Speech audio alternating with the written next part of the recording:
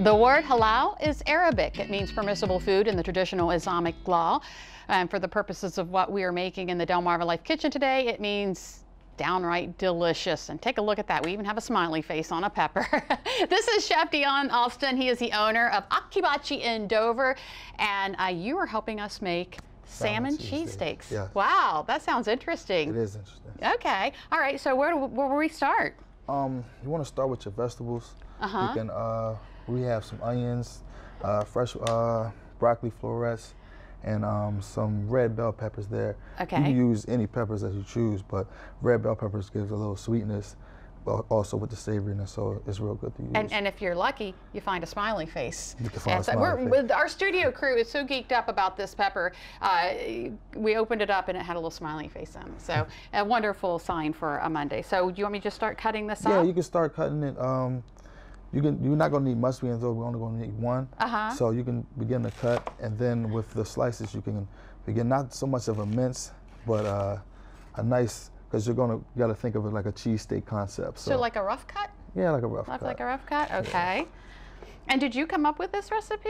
Actually, I did not. No. Oh, okay. I, um, I've had one in uh, Chester, PA, my first time having one. I've mm-hmm. never heard of it. My friend was telling me about it. I said, I'm a cheesesteak. So I tried it and I fell in love. Wow. So okay. I had made some for my family. That's actually this cheesesteak is actually how the restaurant started. I uh, made some for my family. I posted it on social media, and everybody went crazy for it. I was living in Philadelphia at the time. Mm-hmm. Down here, no one really does salmon cheesesteak. So uh, I came down and started making some on the street. It was just a grill and a table, and it just went crazy from there. How's that? How's that for my uh, onions? A little yeah, more? That's good. That's, that's good? good? Okay. And then the same with the peppers? Same with the peppers. Okay. So I'm just going to cut up the peppers here. And what kind of cheese are you using on your I'm using uh, white American cheese because uh, this is a little easier to melt and also gives a great flavor. Mm -hmm. uh, provolone is also good, but that would take a little longer to melt. And uh, salmon is a delicate fish, so you don't want to risk the chance of burning the fish waiting on the cheese to Wait, melt. oh, that makes so, sense. I would never you know, think white American was a little best. Then you just want to cut uh, just the stem off just the of stem. the floret. And uh, normally I have a chopper at my uh, restaurant, so we don't. So what we're gonna do is um, just cut all those in half. And a little more? Uh, yeah, you could do so. That's good right there. Right and you there? could also do the same with the uh, with the other veggies. Oh, okay. So just kind of come down like this. Okay. All right. That's great. That's going to be enough. All right. So then you want to uh, oil your pan. We can utilize this. This is for first. the vegetables. Yes. Okay. Just how much? Um, that should be great. That right should there. be good. Okay. Yes. And then you can uh, transfer the vegetables over into the pan. All right. So I understand you're you're known for your steaks. Yes. Your, uh, uh, we do a lot of things over rice. Uh, I have a lot of variations of, of, of dishes that you can uh, choose from uh, that are in high demand. But uh, yeah, the salmon cheesesteaks is what it started it all.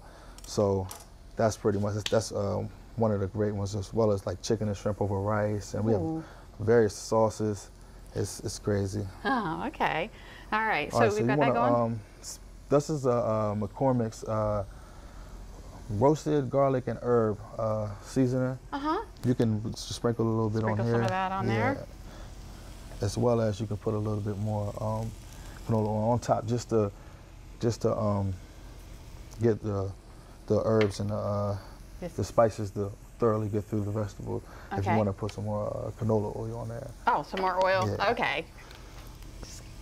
Just, kind of drizzle it on. Is that good? Yes. Okay. Then you want to get your uh, spatula and uh, again just move those around. Move it sure around that, a little bit. Yeah, there you go. Cook it up evenly. great. I love the smell. There it is. That's how it all starts. Yes. okay. All right, so you want to do the same with, uh, you want to oil your pan. This is going to be for the salmon. For the salmon. Um, and how, what kind of pan do you, I mean, do you want a hot pan? yeah, you want a relatively hot pan. You don't want it too hot because we said, again, salmon's a delicate fish, but you want it hot enough because you want to get the job done. Uh-huh. You know, so um, maybe like a medium heat, medium high. Medium high, that's where we Yeah, have it. high Should I open this up? Uh, yeah, we can actually cut it open Oh, to avoid here, the I'm gonna let you do I got that. You. I got you.